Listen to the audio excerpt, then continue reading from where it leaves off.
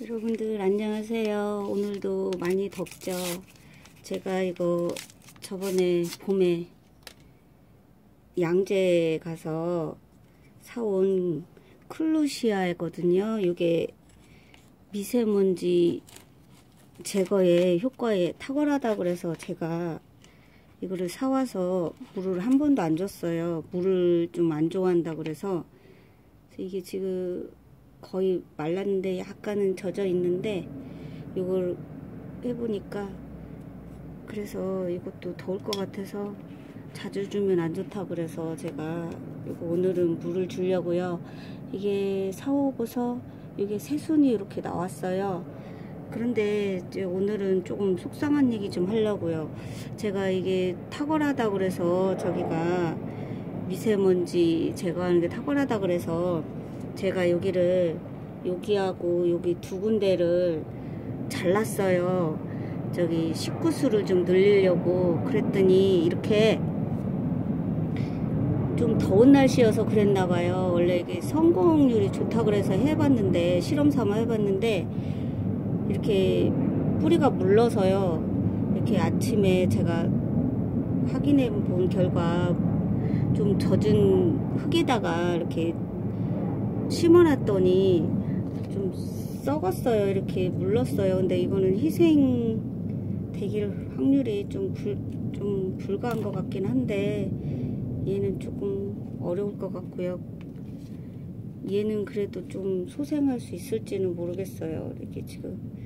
그래서 내가 마음이 급하다고 괜히 이거를 좀 가을이나 이때 서늘할 때 좀 할 걸 제가 너무 미리 서둘러서 올 봄은 조금 짧았던 것 같아요. 겨울 다른 때보다 여름이 빨리 온 것 같아요. 그래서 좀 빨리 이게 물렀던 것 같아요. 이번에 좀 잘 길러서 가을에 한번 요 가지치기를 한번 해서 성공해 보려고 해요. 지금 그래서 한 9월이나 10월쯤이면 아무래도 좀 성공할 확률이 높지 않을까 싶어요. 그러니까는 잘 키워서 하고 오늘 더워서 얘도 많이 목이 마를 것 같아가지고요. 듬뿍 주고 잘 보살펴 주고서 좀 삽목에 성공하고 싶어요.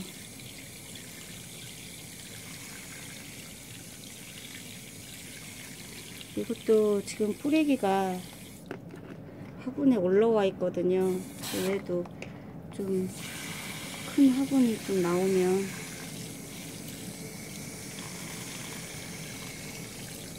조만간에 옮겨 심어볼까 해요. 이것도 엄청 화분이 작은 편인 것 같아요. 뿌리가 위로 올라온 거 보니까요.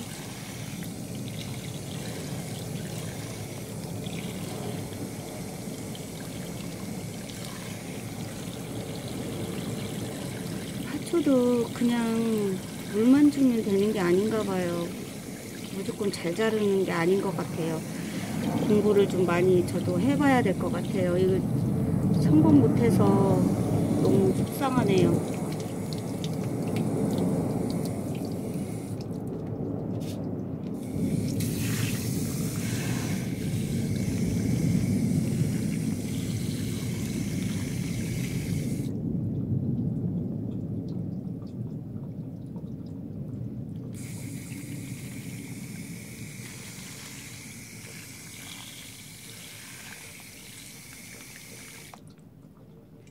여러분들 오후 시간도 시원하게 잘 보내세요. 감사합니다.